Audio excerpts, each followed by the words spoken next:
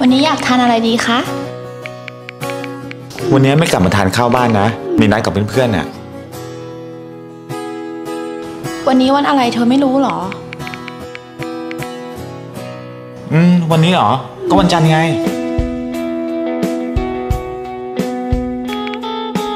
อืม อะ วันเกิดเธอใช่ไหม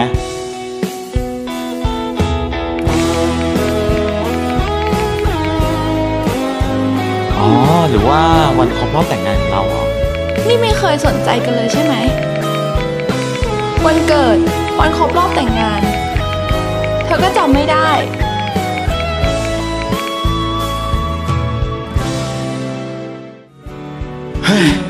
เธออย่ามางี่เง่าได้ป่ะ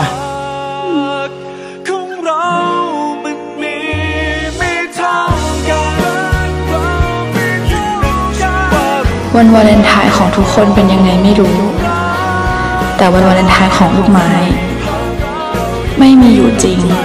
ในชีวิตคู่